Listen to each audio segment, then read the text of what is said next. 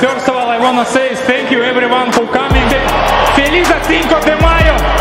Hey, what's going on, Ringsiders? This is your host, Boxing's Objective Observer, and welcome back to Ringside Stories. Feel free to subscribe, thumbs up, and hit that notification bell for the latest here on Ringside Stories. Thanks so much for your support in advance, and welcome to the channel. Dimitri Bivol holds on to his WBA Super World title at light heavyweight winning a close yet unanimous decision over Saul Canelo Alvarez, moving the Russian's record to 20-0. I will give credit to Canelo for taking up, in my opinion, the toughest challenge at 175 for all of the reasons mentioned in previous videos. Now let's take a closer look at this fight as this is Ringside Stories post-fight analysis, aka the Bivol Canelo breakdown. Five takeaways from Dimitri Bivol versus Saul Canelo Alvarez.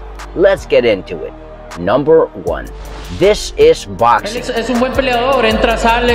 Yeah, so he's a, he's a really good fighter. He's a fighter that comes in and goes out. I also felt his power, but I think it was a good fight. You know, it was a good victory for him. You win or lose that sport, and that's what happens. aceptarlo tal cual.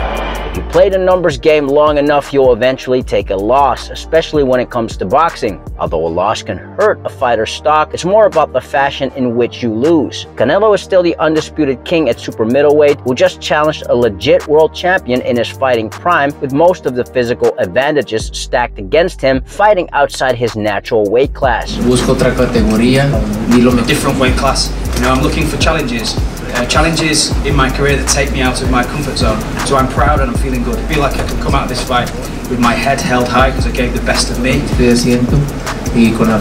But even with this loss, Canelo can still choose whoever he wants to fight as he still is boxing's cash cow. One elite level fighter beat another elite level fighter who most likely wins again in an immediate rematch.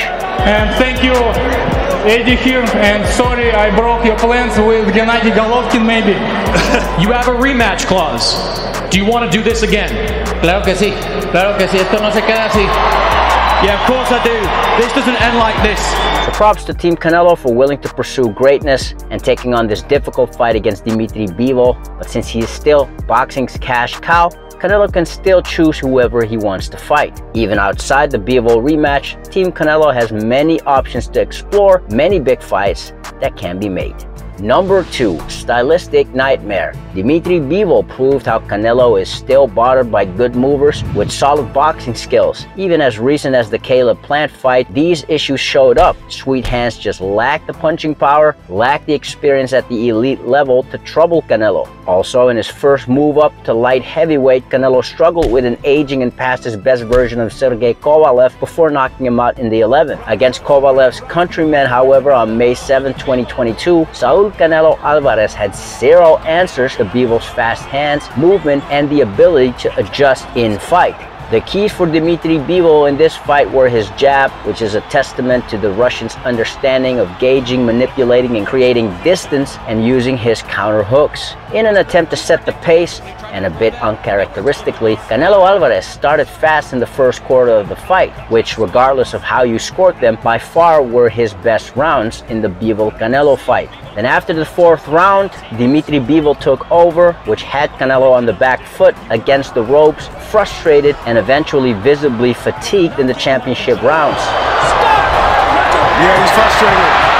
Canelo showed great reflexes and defensive moves, but that was in response to Bivol's formidable attacks. Also, the Russian displayed tremendous discipline throughout the fight, unwilling to depart from his icy cool demeanor, sticking to the game plan, unwilling to engage in an unnecessary slugfest. Unfazed by the occasion, unfazed by the pro-Canelo crowd during Cinco de Mayo weekend, Bivol proved how boxing experience, self-control, self-belief can get you a long way in boxing. My last fights, uh, I didn't enjoy enjoyed in the fight because it wasn't the challenge for me. I just uh, defend my titles against some guys and everyone bet on me. And now I was enjoyed the fight and I saw how and I heard uh, a lot of fans was uh, yelling, you know, and it's uh, motivated me today. And I really enjoyed today the fight. Sticking to the game plan, sticking to a skill set that have historically bothered Saul Canelo Alvarez, which gave Dimitri Bivol this somewhat historical victory. Right now, what a night for him. Dreamed of this night, got the opportunity, and, and becomes a true great tonight, beating the pound for pound number one. Number three, Bivol versus Canelo's facts. All three judges gave the first four rounds to Saul Canelo Alvarez, not only giving the challenger a generous lead, but also forcing Bivol to win the 12th round in order to actually win the fight officially. From that point of view, the official 115-113 score, which is how all three judges scored the fight, is an outstanding feat for the undefeated Bivol, as he went up against not just the pound-for-pound best fighter in the world, but also all the politics and all the favoritism that is siding with the Mexican superstar. Now, in reality, Dimitri Bivol outboxed, out-hustled, and outclassed Canelo. Keep in mind, Canelo is a fighter who relies on high-quality punches having a low punch output. Now, if you're not convinced by what took place during Bivol versus Canelo based on the eye test, just take a look at CompuBox final punch stats. What stands out the most? A. Saul Canelo Alvarez only landed a total 84 out of 495 punches during the entire fight with a 17% connect rate, which for a low volume fighter like Canelo is extremely inefficient. Whereas Dimitri Bivol landed 152 out of 710 punches with a 21% connect rate. B. Canelo landed just 10 jabs in the entire fight with a 4% connect rate, meaning Canelo's jab was non non-existent in the Bivol fight. Bivol, who as a boxer puncher relies heavily on the jab, scored 46 out of 418 jabs, effectively beating Canelo in this department also. C. Canelo Alvarez landed 74 power punches, connecting at just under 28%, which proves Canelo was trying to hit Dimitri Bivol pretty much with power punches exclusively. Maybe his mistake, he throw only hard punches.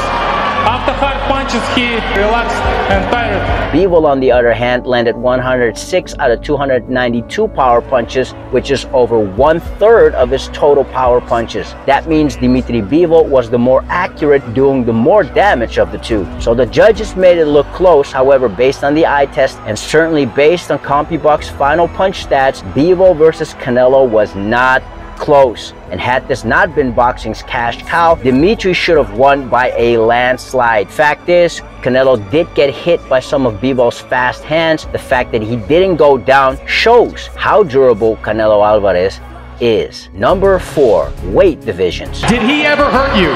Yeah, my arm. hurt my arm.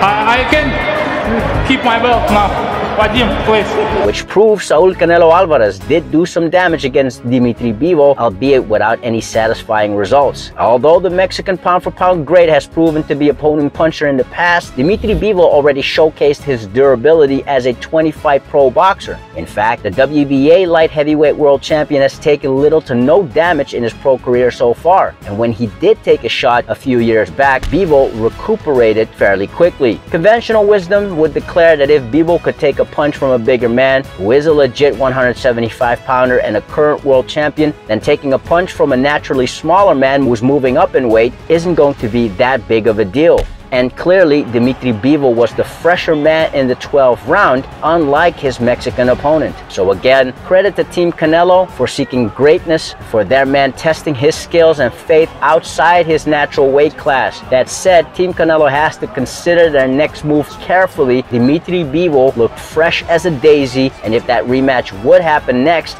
he knows he can beat Saul Canelo Alvarez. Every fighter has a ceiling, even a pound for pound level great such as Canelo, and he might just hit his ceiling at light heavyweight knowing that he has held a title in this weight class before. And so in my opinion, an immediate rematch against Dimitri Bivol will end up in the same fashion. Maybe the pride is damaged, maybe wisdom should prevail and make the sensible decision by moving down to his optimal weight class at 168 pounds. Number 5. What's next? Even with a loss, Canelo Alvarez can still defend his titles at 168. There's always that big money fight with rival Gennady Golovkin. Since Triple G just came off a stoppage win in a successful world title unification match and Canelo took a loss, the public opinion may sway towards a 50-50 fight, which in my estimation makes the Canelo Golovkin trilogy not only the biggest fight, but also the fight that makes the most sense for Canelo Alvarez just from a practical perspective of getting back in the winner's column. The likes of David Benavidez and Jermall Charlo are still talked about, yet are still unproven and untested, especially at the elite level. Or if the rematch with Dimitri Bivol does not come to fruition, what are the odds Canelo fancies his chances against Ilunga Makabu for the WBC Cruiserweight Championship of the World? No matter which opponent Team Canelo chooses next, Canelo is still the current undisputed king at 168 and will still do great numbers regardless of his loss to Dimitri Bivol. As for the WBA Super 175 World Champion, apart from a second fight with Canelo, which will give Bivol Payday, you want payday. there is the ultimate consolidation to consider at 175. And coming fresh off a win over the pound for pound best in the world, having established himself as the second best light heavyweight with a win over WBO champion Joe Smith Jr., that leaves fellow Russian Artur Beterbiev, who holds the majority of the light heavyweight world titles, especially if he successfully unifies against Joe Smith Jr. Stylistically, Beterbiev versus Bivol is a match made in heaven between two undefeated world champions from Russia. One is a relentless yet intelligent pressure fighter, having won all of his 17 professional fights by knockout, who is up in age, has been floored a few times, yet who offers fireworks every single time he steps into the ring. The other is a classic boxer puncher who controls the range with a deadly accurate jab, who moves elegantly yet efficiently and has proven his technical and tactical brilliance against arguably the best fighter in the world pound for pound. By the way, if you want to see a potential Beterbiev versus Bivol matchup, let's get today's episode to 350 likes and we'll get you to see that video here on Ringside Stories ASAP. Props to Canelo Alvarez for taking a chance and battling a formidable opponent outside of his preferred weight class. Congratulations to Dimitri Bivol for a great performance and a career-defining win. These are just my observations, my five takeaways from Dimitri Bivol versus Saul Canelo Alvarez. What are yours? Who do you like to see both fighters in with next? Let us know in the comments below. If you enjoy this kind of content and you haven't already, don't forget to subscribe, give a thumbs up, and hit that notification bell. It helps the channel out a lot, i.e. inspire us to make more quality content for y'all. As always, thanks so much for your support in advance and welcome to Ringside Stories. Now, if you've done that already, you're amazing. We already know that you are the true undisputed world champion. Till next time, Ringsiders, this is your host, Boxing's Objective Observer with Ringside Stories. Thanks for watching and have a legendary day.